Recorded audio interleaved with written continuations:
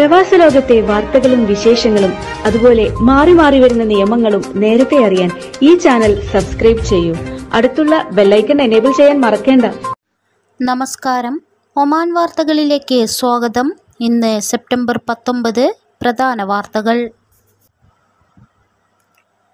വേനലവധി കഴിഞ്ഞ് തുറന്ന വിദ്യാലയങ്ങൾ പരീക്ഷച്ചൂടിൽ അവധി ആലസ്യത്തിൽ നിന്ന് പൂർണമായും മുക്തമായ വിദ്യാർത്ഥികളെ തേടിയെത്തിയ പരീക്ഷയുടെ മുന്നൊരുക്കത്തിന് കൂടുതൽ സമയവും ലഭിച്ചു. ഇന്ത്യൻ വിദ്യാലയങ്ങളിലാണ് അർദ്ധവാർഷിക പരീക്ഷ തുടങ്ങിയത്. ഈ മാസം അവസാന വാരം വരെ പരീക്ഷ തുടരും. പരീക്ഷാ ദിനങ്ങളിൽ പഠന സമയങ്ങളിൽ മാറ്റമുണ്ടെങ്കിലും സ്കൂൾ പ്രവൃത്തി സമയം സാധാരണ നിലയിലായിരിക്കും.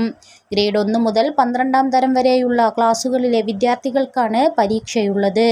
പല വിദ്യാലയങ്ങളിലും വ്യത്യസ്ത തീയതികളിലും സമയങ്ങളിലുമായിരിക്കും പരീക്ഷ.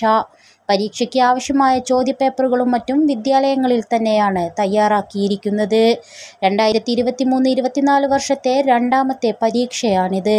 കാൽക്കൊല്ല പരീക്ഷ വേനലവധിക്ക് വിദ്യാലയങ്ങൾ അടയ്ക്കുന്നതിന് മുമ്പ് നടന്നിരുന്നു. അതിനിടെ ഭീമമായ വിമാന ടിക്കറ്റ് നിരക്ക് മൂലം മടക്കയാത്ര മുടങ്ങിയ രക്ഷിതാക്കളിൽ ഭൂരിഭാഗവും തിരികെയെത്തി. അതുകൊണ്ട് തന്നെ ക്ലാസുകളിലെ വിദ്യാർത്ഥികളുടെ ഹാജർ നിലയും സാധാരണ നിലയിലായിട്ടുണ്ട്. വൈകിയാണെങ്കിലും തിരികെ എത്തിയ വിദ്യാർത്ഥികൾക്ക് പരീക്ഷയിൽ സാന്നിധ്യം ഉറപ്പിക്കാനാവും. രാജ്യത്തിന്റെ ആരോഗ്യമേളയ്ക്ക് കരുത്തു പകർന്ന് ഒമാൻ ഹെൽത്ത് എക്സിബിഷൻ ആൻഡ് കോൺഫറൻസിന് തുടക്കമായി. ഒമാൻ കൺവെൻഷൻ ആൻഡ് എക്സിബിഷൻ സെന്ററിൽ മൂന്ന് ദിവസങ്ങളിലായി നടക്കുന്ന പരിപാടി Sayyid Khalid Hamad Al Busaidi ഉദ്ഘാടനം ചെയ്തു. ആരോഗ്യ മന്ത്രാലയവുമായി സഹകരിച്ച് ഹെൽത്ത് എക്സിബിഷൻ ഒരുക്കിയിരിക്കുന്നത് ഇന്ത്യ മലേഷ്യ തായ്ലൻഡ് ഇറാൻ തുടങ്ങിയ രാജ്യങ്ങളിൽ നിന്നായി നൂറ്റി അറുപതിലധികം പ്രദർശകരാണ് തങ്ങളുടെ സേവനങ്ങളും ഉൽപ്പന്നങ്ങളുമായി പ്രദർശനത്തിൽ പങ്കെടുക്കുന്നത്. ആധുനിക ചികിത്സാ രംഗത്തെ നൂതന രീതികൾ ഒമാനി സമൂഹത്തിനു മുന്നിൽ പരിചയപ്പെടുത്തുന്നതിന് മേള സഹായകമാകും. Directorate general of pharmaceutical affairs and drug control directorate general of quality assurance centre directorate general of private health establishment എന്നിവയുടെ പിന്തുണയോടെയാണ് മേള നടക്കുന്നത്. ആരോഗ്യ സ്ഥാപനങ്ങൾ മരുന്ന് നിർമ്മാണ കമ്പനികൾ ആരോഗ്യ സുരക്ഷാ സ്ഥാപനങ്ങൾ ആരോഗ്യ ഉപകരണങ്ങൾ നിർമ്മിക്കുന്ന സ്ഥാപനങ്ങൾ എന്നിവയാണ് മേളയിൽ പങ്കെടുക്കുന്നത്. മെഡിക്കൽ ടൂറിസം ആരോഗ്യ സാങ്കേതിക വിദ്യ ലബോറട്ടറി ഉപകരണങ്ങൾ മറ്റു ഉപകരണങ്ങളും സേവനവും നൽകുന്നവർ അന്താരാഷ്ട്ര ആശുപത്രികൾ ആരോഗ്യ മെഡിക്കൽ സെന്ററുകൾ എന്നിവയുടെ പ്രതിനിധികളും പ്രദർശനത്തിലുണ്ട്. ഒമാൻ ഇറ്റലി സംയുക്ത സൈനിക പരിശീലനം ഇറ്റലിയിൽ തുടരുന്നു. പരിശീലനം സെപ്റ്റംബർ ഇരുപത്തി ഒന്നിന് അവസാനിക്കും. ജബൽ ഷംസ് മൂന്ന് എന്ന പേരിലാണ് ഇറ്റാലിയൻ ആർമിയുടെയും റോയൽ ആർമി ഓഫ് ഒമാന്റെയും സംയുക്ത പരിശീലനം. സൈനിക പ്രവർത്തനക്ഷമത വർദ്ധിപ്പിക്കുകയാണ് പരിശീലന ലക്ഷ്യം. പ്രതിരോധ രംഗത്ത് ഇരു രാജ്യങ്ങളിലെ സൈനികരുടെ അറിവുകൾ പങ്കുവെക്കുന്നതിനും പരിശീലനം ഗുണം ചെയ്യും. ഇറ്റാലിയൻ സൈന്യത്തിന്റെ മികവ് പരിശീലനത്തിൽ ഗുണം ചെയ്യും. രുചിയുടെ പുതുലോകം തുറന്ന് ഒമാൻ ഫുഡ് ആൻഡ് ഹോസ്പിറ്റാലിറ്റി പ്രദർശനത്തിന് തുടക്കമായി. മൂന്ന് ദിവസങ്ങളിലായി ഒമാൻ കൺവെൻഷൻ ആൻഡ് എക്സിബിഷൻ സെന്ററിൽ നടക്കുന്ന പരിപാടി കാർഷിക മത്സ്യബന്ധന ജലവിഭവ മന്ത്രി doctor Saud bin Hamood bin Hamad Al Habsi ഉദ്ഘാടനം ചെയ്തു. സ്വദേശികളും വിദേശികളും വിദേശികളുടേതുമുൾപ്പെടെ വൈവിധ്യങ്ങളായ രുചിക്കൂട്ടുകളും വിവിധ സേവനങ്ങളുമാണ് സന്ദർശകർക്കായി ഒരുക്കിയിരിക്കുന്നത്. ഹാൾ നമ്പർ നാലിൽ രാവിലെ പത്ത് മുതൽ വൈകിട്ട് ഏഴ് വരെയാണ് പ്രദർശന സമയം. പ്രവേശനം സൗജന്യമാണ്. India China Iran Pakistan Sri Lanka Thailand Turkey തുടങ്ങിയ രാഷ്ട്രങ്ങളിൽ നിന്നുള്ള സ്ഥാപനങ്ങളും പ്രദർശകരുമാണ് മേളയിൽ പങ്കെടുക്കുന്നത്.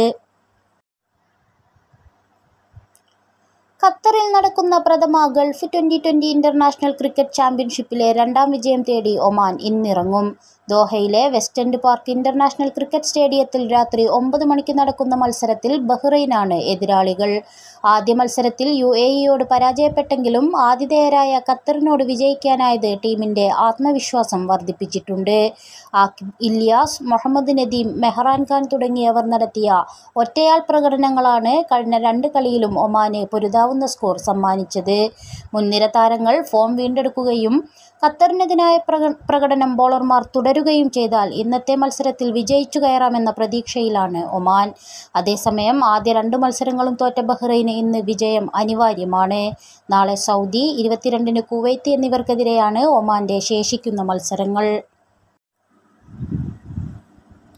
അനധികൃത മെഡിക്കൽ ഉൽപ്പന്നങ്ങൾ തടയുന്നതിനായി പ്രചാരണ പ്രവർത്തനങ്ങൾ ശക്തമാക്കി വടക്കൻ ഷർക്കിയയിലെ ഉപഭോക്തൃ സംരക്ഷണ വിഭാഗം. ഗവർണറേറ്റിലെ കൺസ്യൂമർ പ്രൊട്ടക്ഷൻ അതോറിറ്റിയുടെ market regulation and monitoring department director general of health സർവീസസിലെ pharmacy medical warehouse വകുപ്പുമായി സഹകരിച്ച് പരിശോധന ക്യാമ്പയിനുകളാണ് നടത്തിവരുന്നത്. കുറിപ്പടി ഉപയോഗിച്ച് മാത്രം നൽകേണ്ട മരുന്നുകളാണോ വിതരണം ചെയ്യുന്നതടക്കമുള്ള പരിശോധനകളാണ് നടത്തുന്നത്. പ്രകൃതിദത്ത ഔഷധ സസ്യങ്ങൾ വിൽക്കുന്ന ബ്യൂട്ടി സലൂണുകളിലും സ്റ്റോറുകളിലുമാണ് പരിശോധനകൾ നടക്കുന്നത്. ഡെങ്കിപ്പനി പരത്തുന്ന ഈഡിസ് കൊതുകിനെ തുരത്താൻ വടക്കൻ ബാത്തിന നഗരസഭയിൽ ക്യാമ്പയിൻ ആരംഭിച്ചു. ഗവർണറേറ്റിലെ വിവിധ വിലായത്തുകളിൽ തുടർച്ചയായ പ്രചാരണങ്ങൾ നടത്തുകയും കീടനാശിനി ഉപയോഗിക്കുകയും ചെയ്യുകയാണ്. നഗരസഭ ആരോഗ്യകാര്യ വകുപ്പ് director engineer Ali bin Dahim al Umrani ക്യാമ്പയിന്റെ ലക്ഷ്യങ്ങൾ അവലോകനം ചെയ്തു. ഗവർണറേറ്റിലെ ഡയറക്ടറേറ്റ് ജനറൽ ഓഫ് ഹെൽത്ത് സർവീസസിന്റെ സഹകരണത്തോടെ കൊതുകുകളെ നേരിടാൻ പതിനാറ് ടീമുകൾ രൂപീകരിക്കുകയും ചെയ്തു. ഇന്ത്യൻ നാവികസേനയുടെ മിസൈൽ വാഹക യുദ്ധക്കപ്പൽ I N S Talwar Oman സന്ദർശനത്തിൽ. മസ്കത്ത് സുൽത്താൻ ഖാബൂസ് തുറമുഖത്താണ് ഐ എൻ എസ് തൽവാർ നങ്കൂരമിട്ടത്. ഇന്ത്യയും ഒമാനും തമ്മിലുള്ള സൈനിക സഹകരണം ശക്തമാക്കുന്നതിന്റെ ഭാഗമായി ഇന്ത്യൻ യുദ്ധക്കപ്പലുകൾ ഇടയ്ക്ക് ഒമാനിലെത്താറുണ്ട്. ഇതിന്റെ ഭാഗമായാണ് I N S Talwar Muscat തുറമുഖത്തെത്തിയത്. മസ്കത്തിലെത്തിയ ഐ എൻ എസ് തൽവാറിൽ ഇന്ത്യൻ അംബാസിഡർ അമിത് നാരംഗ് സന്ദർശനം നടത്തി. ഇന്ത്യൻ നാവികസേന ഉദ്യോഗസ്ഥരുമായി അംബാസിഡർ ചർച്ച നടത്തി.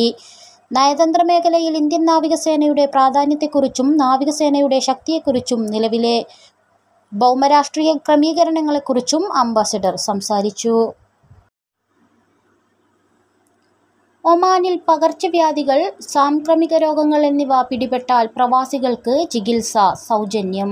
പൊതുജനാരോഗ്യത്തിന് ഭീഷണി ഉയർത്തുന്ന രോഗങ്ങളുടെ സമഗ്രമായ പട്ടിക ആരോഗ്യ മന്ത്രാലയം തയ്യാറാക്കിയതായും പ്രാദേശിക പത്രം റിപ്പോർട്ട് ചെയ്തു. മുപ്പത്തിരണ്ട് രോഗങ്ങളാണ് ഈ പട്ടികയിൽ ഉൾപ്പെട്ടിരിക്കുന്നത്. ഈ രോഗങ്ങൾ പിടിപെട്ടാൽ ആവശ്യമായ എല്ലാ മെഡിക്കൽ സേവനങ്ങളും പ്രവാസികൾക്ക് സൗജന്യമായി ലഭിക്കും. തലസ്ഥാനത്ത് ഇലക്ട്രിക് കേബിളുകൾ മോഷ്ടിച്ച ആറ് വിദേശികളെ റോയൽ ഒമാൻ പോലീസ് അറസ്റ്റ് ചെയ്തു. മസ്കത്ത് ഗവർണറേറ്റിലെ ബൗഷർ വിലായത്തിൽ നിരവധി കമ്പനികളുടെ വയറുകൾ മോഷ്ടിച്ച കുറ്റത്തിന് ഏഷ്യൻ വംശജരായ പ്രതികളെ general directorate of enquiries and criminal investigations ആണ് പിടികൂടിയത്. ഇവർക്കെതിരെയുള്ള നിയമ നടപടികൾ പൂർത്തിയാക്കിയതായി അധികൃതർ അറിയിച്ചു. ഇതോടുകൂടി ഇന്നത്തെ വാർത്തകൾ ഇവിടെ പൂർണമാവുന്നു. കൂടുതൽ ഒമാൻ വാർത്തകളും വിശേഷങ്ങളുമായി നാളെ വീണ്ടും കാണാം. നമസ്കാരം.